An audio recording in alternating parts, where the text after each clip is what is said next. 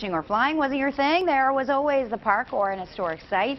Officials allowed all vehicles with Maine license plates into the areas, including Ferry Beach State Park and Saco, for free.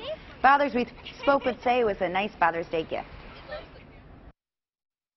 Lived here all my life. First time I've been here. And what do you think of it? Pretty awesome. Everybody should come down here and see this. Ferry Beach is one of our favorite places to come, and we decided to come down here. We got the, my grand boys were throwing sand. Hey, put the sand down. Only Baxter State Park and the Penobscot Narrows Observatory did not allow people in for free today. Officials say more than 2.6 million people visit Maine state parks and historic sites each year.